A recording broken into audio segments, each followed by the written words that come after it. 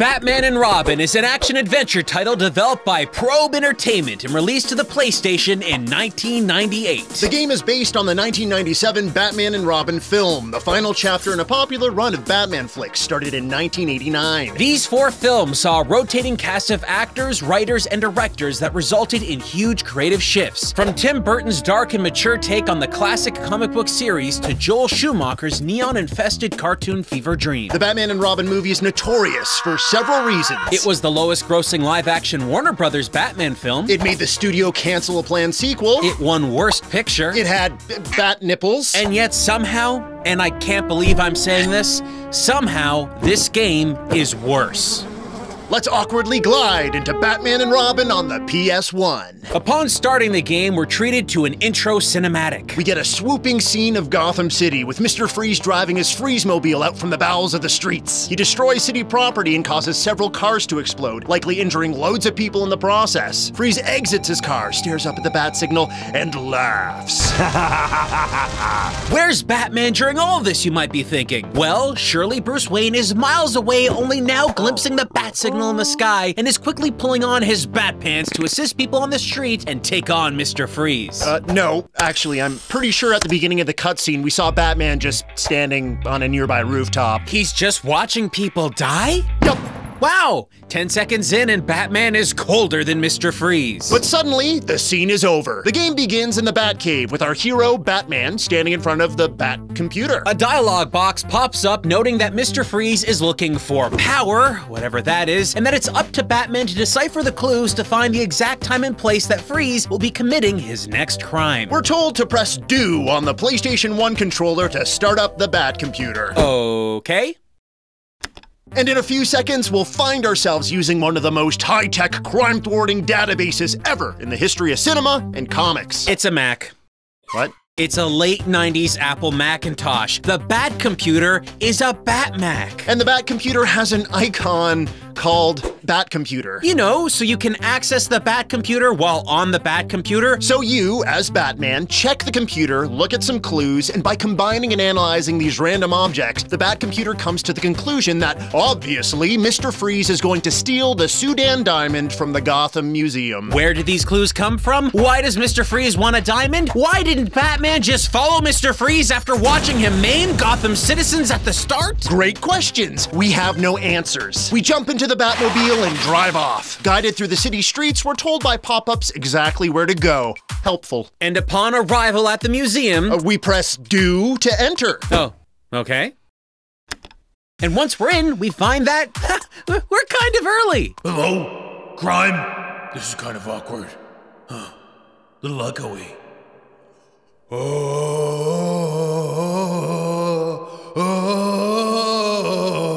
oh, It's Halo. Uh, don't worry though, the game expected you to be here early, so it gives you an option to fast forward time to when the crime is committed. Once the alarms go off, Batman rushes into the museum and takes on hordes of Freeze's henchmen, shattering them into pieces because they're ice people, I suppose. After many a low-level lackey fight, Mr. Freeze himself makes an appearance to steal the diamond. We rush up to face him, and What just happened? Did did we lose? we did! There are no lives or continues in this game. When you die, you're treated to this grim cinematic and you restart all the way at the main menu. Okay, clearly we must have missed a tutorial or combat training or something. Let's head back to the Batcave and explore it a bit more to see what we can do and learn. Welcome to the Batcave, where you can Practice your Batarang skills with moving targets.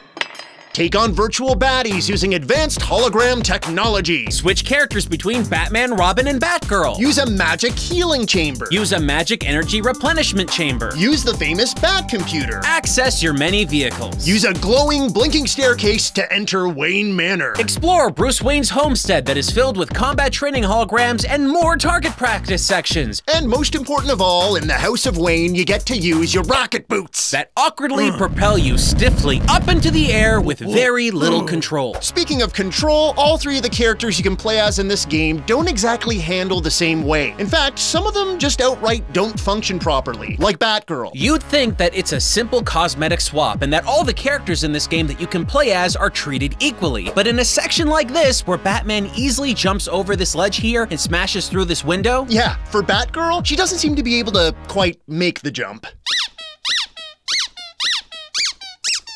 Anyway, we spent tons of time in the Batcave and around Wayne Manor. Here's what we learned about movement and combat. The magnifying glass at the top left represents exploration and platforming. When you have that selected, you can interact with objects in the world, jump, or use items like your Batarang.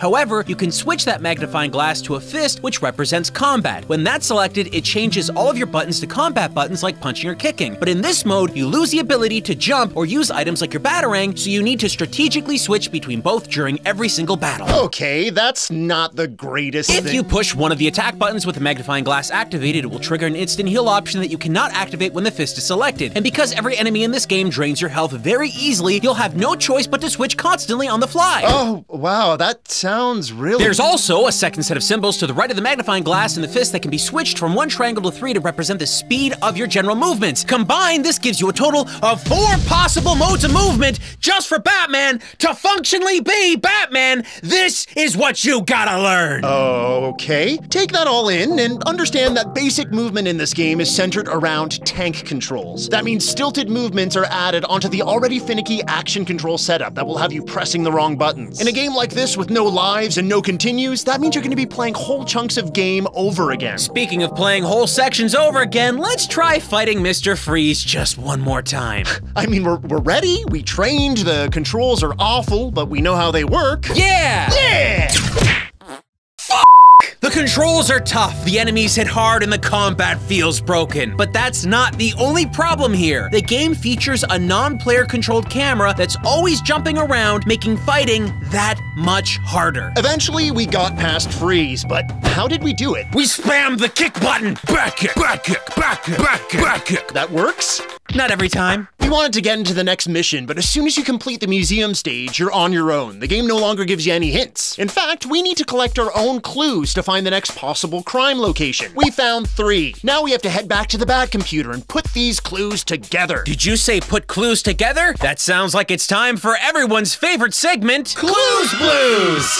Hey kids, Batman's kinda stuck here. Can you help me find out what Mr. Freeze's clues mean? Okay, we've got alarm schematics, a walkie talkie with no power source, and a picture of Mr. Freeze. Hmm. Could this mean that Mr. Freeze is alarmed that he doesn't have batteries for his walkie talkie? No. Yeah, probably not. What do you think? No. That's probably not right.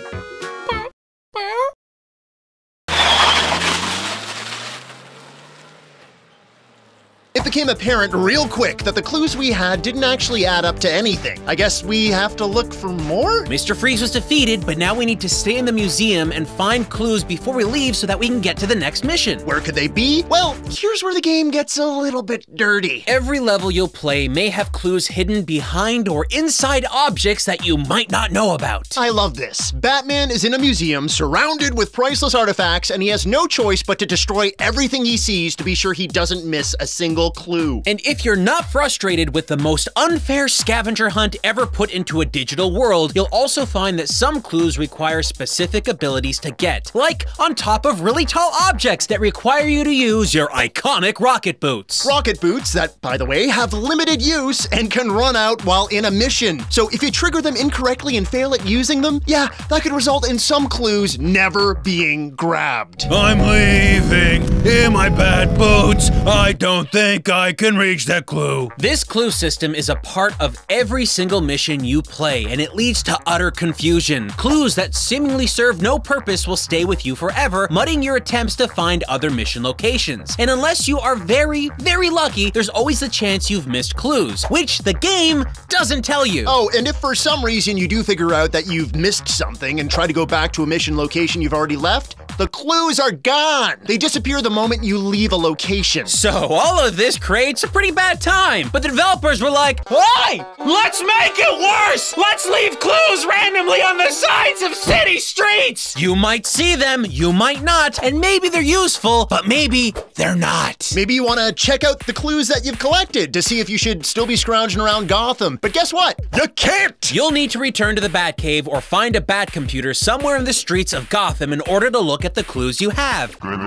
Anyway, after our fight with Freeze, we were lucky enough to find the right clues to lead us to our next mission location, a jewelry store. Right, so we go to our map of Gotham City and whoa! This map is big. It was at this point that we discovered that this game is actually a fully realized 3D open world experience. This is years before other developers would master this concept. It can take full on real world minutes to travel from one point to another in Gotham. It's seriously impressive, something that the developers likely spent a really long time on creating. Yeah, real shame it sucks though. Batman drives his famous Batmobile. A vehicle that is obviously far too large for the city streets. Excuse me. Pardon me. Oops. No. Okay. Nope. Nope. Stop.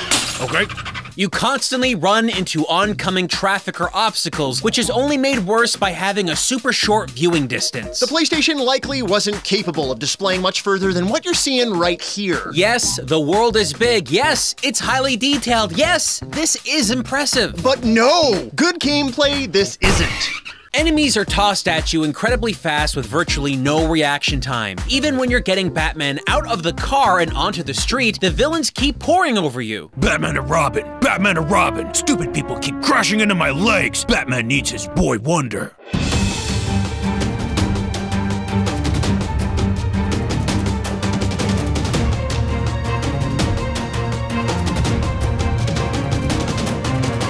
All right, Batman, I've arrived. Robin? Robin? Hello? I wish he was here. He could help me figure out why all these cars keep crashing into this wall. Back to the Batmobile, it has very few defenses, and in many cases, when you're surrounded by enemies, you'll likely kill innocent people. Oh yeah, did we forget to mention? Batman straight up murders people in this game. The Batmobile fires bullets and blows up vehicles. You can also use that same weapon to destroy anyone you see in the city streets. Funny enough, that shattering thing we talked about earlier, where Batman punches people to pieces, yeah, the same thing happens out here with everyone. Goon, citizen, it doesn't matter. Everybody breaks like they're made of ice. It looks really strange. Overall, car combat is wildly unresponsive and punishing. Just the act of driving the car is insanely hard. You'll hit everything. Enemies peel back your health like wrapping paper, putting your chances of survival at near zero. Oh, and don't think you can outrun your enemies. They're all way faster than you are, and they always catch up. And yet, you must drive, because this is an open world game. To get from one mission to the next, you'll have no choice but to drive to that location. Fast traveling to a crime is not an option. Let's pull up that Gotham map again. When you select a place you need to go, it gets pointed out at the bottom right radar you see while you're driving. Problem is, the mini-map is a mess. Lines that represent streets are sandwiched together without a gap, causing massive confusion when you're trying to navigate the insanely complicated maze that is Gotham City streets. You'll never be able to know when you need to turn anywhere. It's a completely non-functional map system in an open world game. Great! Now, perhaps by this point, after hearing all the flaws of this game and barely getting past the very first mission, you'd assume that the game couldn't be any harder. Well, here's one more layer of complexity that will keep you in a constant state of panic. This whole game? It's timed. Timed. Everything is timed. If you let the game sit idle, Mr. Freeze will commit all of his crimes and destroy Gotham, leaving you with a game over and once again visiting that awful, awful end cutscene. You saw that museum? You, you thought we could take our time carefully fighting every enemy? You can't. Wait long enough and Mr. Freeze will get away. Thought we could spend a long time hunting for clues? You can't! If you take too long looking for clues, the next crime will have already started. You may have noticed a save option on the Bat computer earlier on. Well, it's true, you can save your progress, but you need to be near a Bat computer to do that. So, you'll waste in-game time driving to a computer, which, by the way, some are just out in the wild. You know, the most high-tech crime-thwarting database ever in the history of cinema and comics? Yeah, it's just sitting there like a freaking ATM with no password protection or anything. Someone could just go up to it, try to get gas money, and instantly learn all of Batman's secrets. What? Oh no! My bat picks! So, you can save at a bat ATM, but they're sparsely placed and often take plenty of time to get to. Let's not forget that if you finished a chunk of gameplay and haven't found these needle in a haystack save spots, all that progress will be lost. Load game, drive to mission, beat mission, drive to bat ATM, can't find ATM and die. Reload right from the start of that loop. That sounds like fun, right?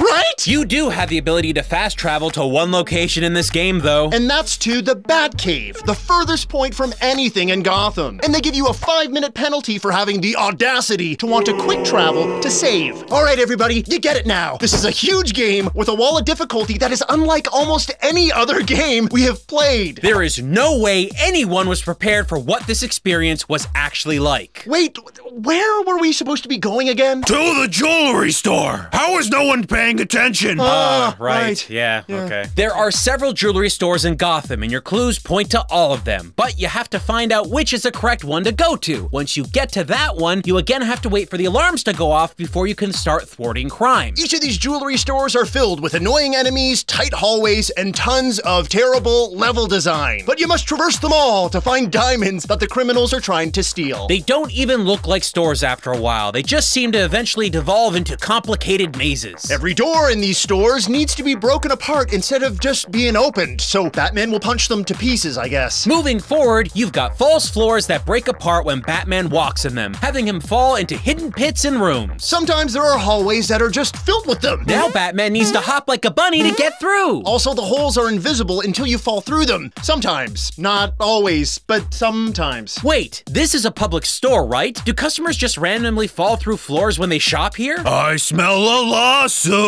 There are hallways that just end and have massive drops into terrible platforming sequences where you need to awkwardly position Batman to jump in just the right way. Now, in this hidden room beneath the floor, there's a button. See that texture on the wall there?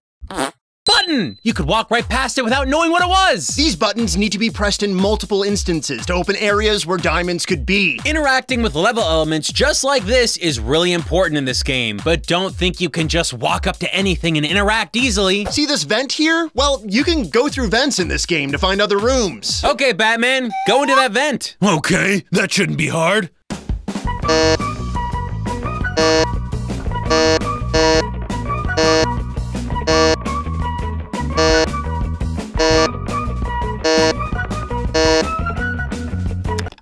Yeah, I did it. Wait, who's that? Well, at the end of each jewelry store section, you have a mini boss fight with Frosty, Mr. Freeze's right hand man. We spent so long trying to get into that vent that Frosty successfully got away with the diamond you were supposed to protect. Guano. When you do successfully take out Frosty, you then have to go to another jewelry store in time to take him out again, and then to another jewelry store in time to take him out again, and then to another jewelry store to take. Wait, I've got a plan. What's the plan? Here, here, here, watch. I go to the jewelry store early, see? I avoid the laser grid with my wicked bat moves. I go up an elevator, jump from one balcony to another, find a special hidden switch to unlock the vault, glide down to the vault, and save the diamond. You just robbed the jewelry store. No, I just helped the jewelry store. You stole their diamond. I saved their diamond. What? But wait, you can't do that unless you wait for the alarm to go off. The doors won't even unlock in this game. No, not at this jewelry store. They were pre-unlocked. Do the owners of the jewelry store at least know you took it? They will tomorrow. Put the diamond back! The game lets me do it. Well, folks, he's right. It might have been an accident, but by going to this one jewelry store early, you can totally pre-steal diamonds. Does that make the level easier? No, because Mr. Freeze will still show up and you'll still have to beat him. And then we're on to the next sequence of the game. or we would be, but we hit a police barricade. They don't let Batman through. I thought we were friends. So now we have to plan another route through the city blindly. That's another 10 minutes where we had to reload the game to make up for lost time. The clock's always ticking here, people. So now we find ourselves at the Botanical Gardens. Uh, let's take a little break here to point out how the art team replicated the visuals and locations of the film. The Batcave is a near mirror replica. The museum was also faithfully rendered to match just how it looked in the movie, lighting and all. Same here at the Botanical Gardens. It's actually very impressive. But even though this level is near identical to the movie version, they added one stupid thing that unless you were really closely paying attention to, can end your game right on the spot. blue lights. These stupid lights randomly turn on. If Batman happens to be near them, his health will silently drain away. Batman is fighting a whole crew of bad guys that keep spawning all over, including another frosty boss fight. All this while the blue lights slowly hurt Batman. There's no visual indication that this is happening, no sound to notify you that you're being hurt. You need to look at your health bar to know anything was up. Defeat all of these obstacles, and Mr. Freeze appears and runs into the mouth of whatever that thing is there. You pop out on the other side next to a bridge and a giant metal hand. The bridge is slippery and and very broken. Uh, hello? I don't think this is physically possible. Wait. When you eventually make your way to the palm of the metal hand, you engage in battle with Mr. Freeze. Lose this fight, and Mr. Freeze will use his special spinning balls thing to cast Gotham into a perpetual state of winter, killing everyone. We're not sure why Mr. Freeze is trying to do this. We've got no explanation of what is happening. This doesn't even follow the movie's plot at all. But of course, Batman, our brave hero, does what Batman does best. Bat kick, bat kick, bat kick, bat kick, bat kick. And Gotham's famous Cape Crusader saves the day, defeating the cold-hearted Mr. Freeze and sending him to jail. well, that was a tough one. But hey, we finally finished the entire game. Oh. Oh? Oh no! We completely forgot about Poison Ivy and Bane, the other villains from the movie who also appear in this game! Folks, we've just experienced the first day.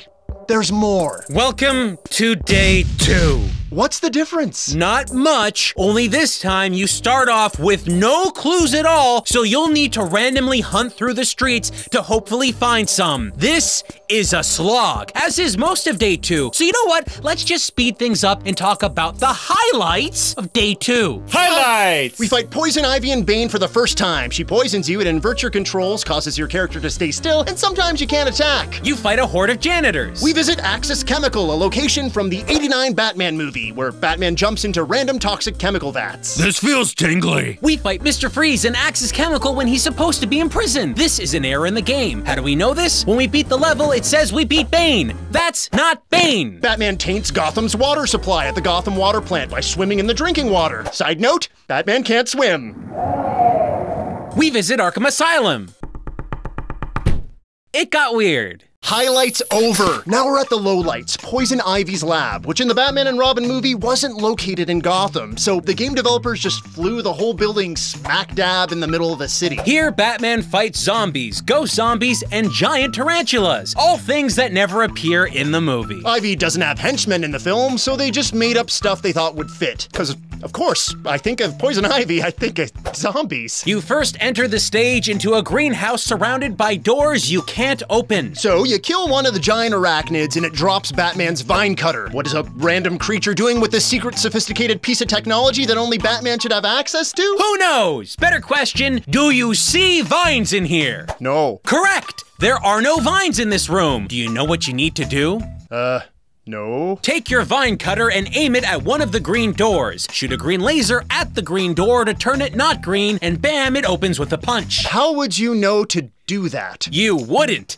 It took us over an hour of gameplay to randomly try every item in our inventory on everything in the room just to discover that this is what you needed to do. At the center of this simply awful location, Batman gets lost in a hedge maze that has no map or identifying features. What it does have is specific walls that Batman can walk through that happen to look like a solid non-passable wall. This totally breaks the form and function of a maze, so you'll need to try to run into every single maze wall you see just to find your way out. And be careful, because one false step could lead you falling into a pit that causes fall damage. Uh, but it also holds a secret lab that you need to go to, so you gotta fall. Once in this secret lab, we find ourselves in the birthplace of Bane, pulled right from the movie. And as the game has taught us up to this point, we smash and poke everything we can, looking for clues and items. Once we found everything we needed, we left the stage where we lost. Okay, let's go back to the secret lab and look around some more. Maybe we missed a clue or didn't hit a lever or something. Sure, back to the lab, search, search, smash, smash. We leave the level and... Lost again! Okay, back to the secret lab. Let's try and just touch things before we smash things. Oh, look! A key item has appeared from a shelf that if you punched and destroyed, would have also destroyed the item without letting you know. Any indication at all that the item was there or that we shouldn't be punching things for the first time ever in the game? Nope.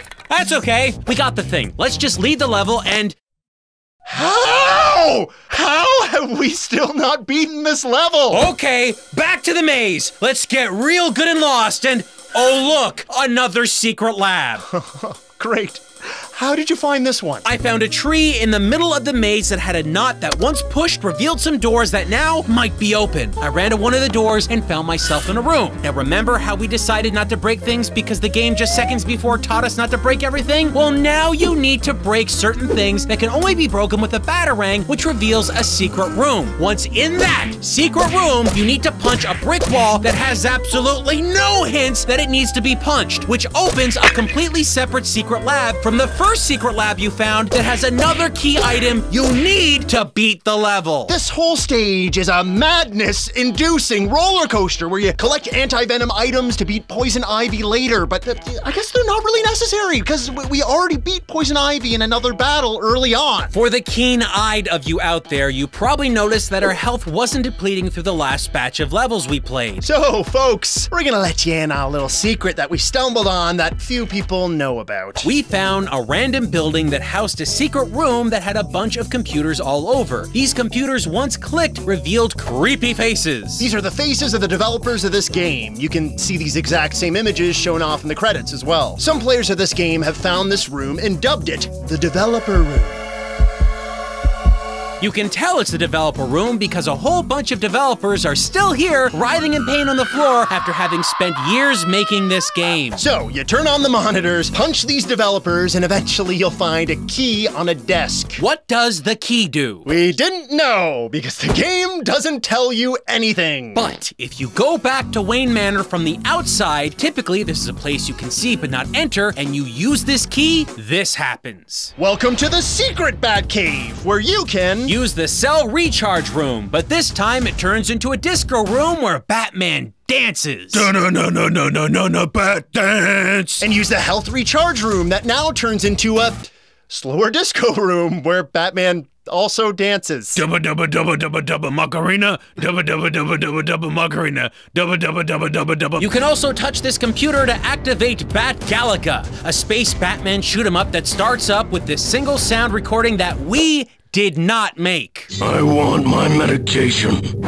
I don't know. It's just there. He says it a lot, and I think it's the only time Batman says anything in the game. I want my medication. Use another computer terminal and you activate a Bat RC car where you control a tiny Batmobile and drive around a really strange destruction derby like race. I am the knight. This is a really strange thing to see in the game, but what's even stranger is that Batman can exit the car and become full size again and return back to the car and become small. Batman big. Batman small. Batman big. Batman small. Batman big. Batman small.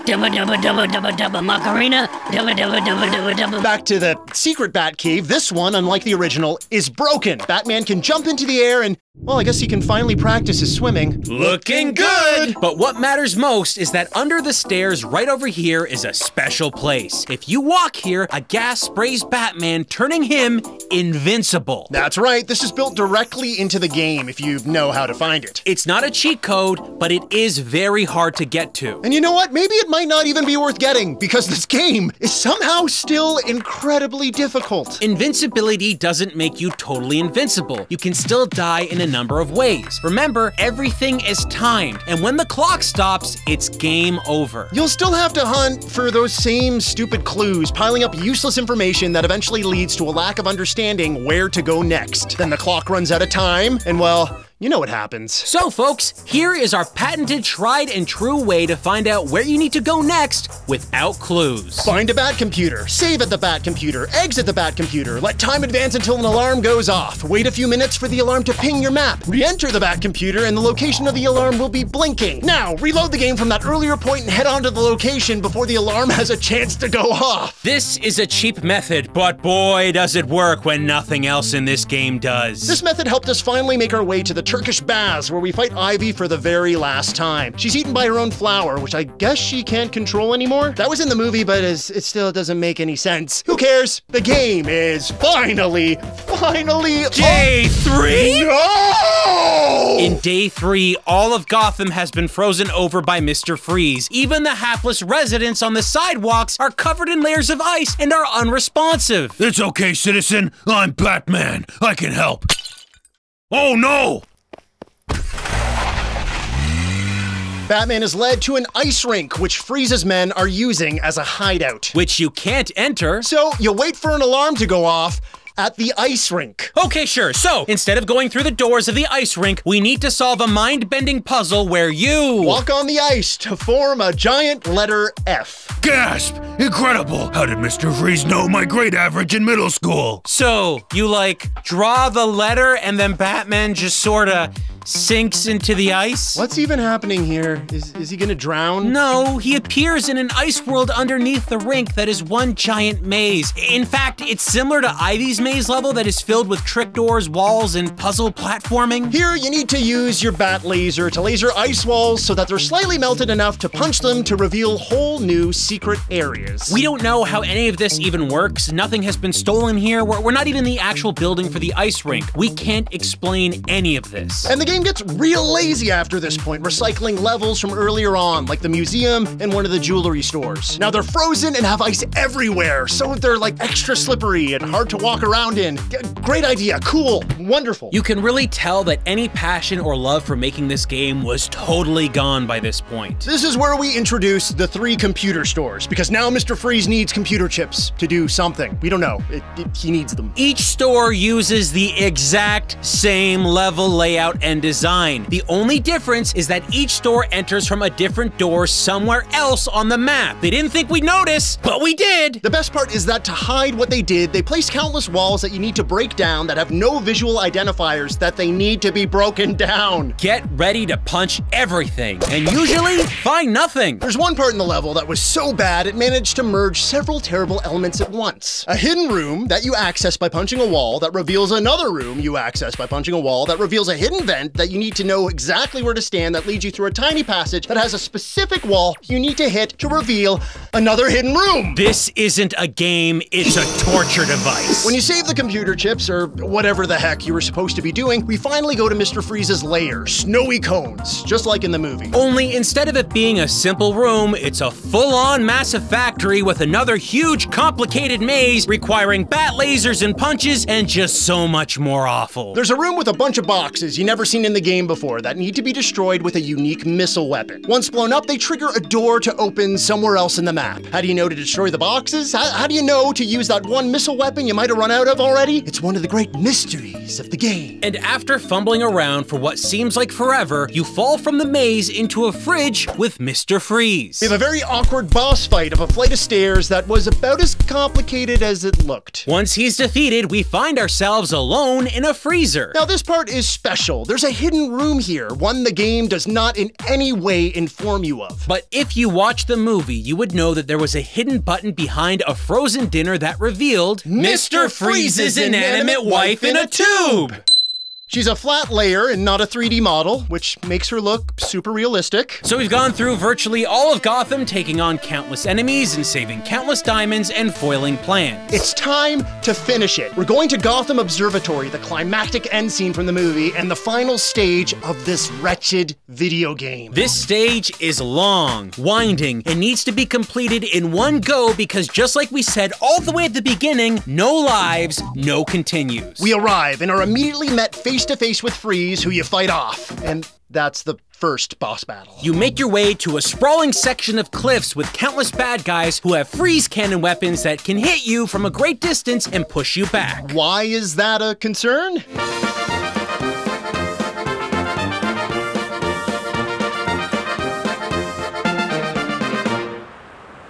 What does this keep happening to me? Each time that happens, you need to reload all the way to the start, before you first defeated Mr. Freeze. Now, if you happen to pass Freeze and get through the cliffs, you'll fight people through the observatory until you get to a room housing a telescope that Mr. Freeze has turned into a giant ice ray. Why does he need a giant ice ray now to freeze Gotham when he had a weapon earlier that could already do it? Who knows? But now we're here. You'll encounter Bane, who seems to be stronger than ever before. You'll also need to attack other enemies who spawn randomly around you throughout this fight. We got very very close to beating this, but when we finally took out Bane, we were hit by a freeze cannon blast randomly that pushed us into the 3D model of the telescope, locking us into place with no escape. You know what that means? We had to restart the game and the entire level all over again. So, we did. We beat Mr. Freeze, got through the cliffs, fought through the observatory, beat Bane and countless goons, and suddenly Mr. Freeze spawned again because he would, leaving us to one final battle, taking on that giant cold dolt once and for all. After all of this, all of this, we finally beat the stage on freezing Gotham and saving countless people. Except this guy. After the final uninspiring cutscene, it immediately clips back to the main menu as if you had done nothing at all. And if you manage to actually accomplish what we did right here, it feels like you had completed the impossible. Batman and Robin may well be one of the most impressive and visually striking disasters we've ever played. It single-handedly demonstrates advanced game design mechanics that are complex, interesting, and perhaps borderline revolutionary. But the whole game falls apart with not a single aspect working as the developers likely intended. Or heck, maybe they did intend this. We don't know. It's the video game equivalent of having an ice cream headache for three days straight. It's unacceptable, unrewarding, and downright vicious at what it requires you to accomplish to beat this game. Oh boy, could this be worse than Batman Dark Tomorrow, the game that we both called the worst Batman game ever? Could it be worse? Easily. But know that these two games are not just linked by Batman alone. Probe Entertainment, the company that made this game, had a founder. He left to go make another company called HotGen, and they were one of the developers that helped make Batman Dark Tomorrow. So, it's linked to another terrible game as well as a movie considered by many to be one of the worst films ever made. But if you ask both of us, Batman and Robin on the PS1 is something that stands completely on its own as an icon, a bastion of pure tedium. The movie might be dumb, silly fun, but the game? It's just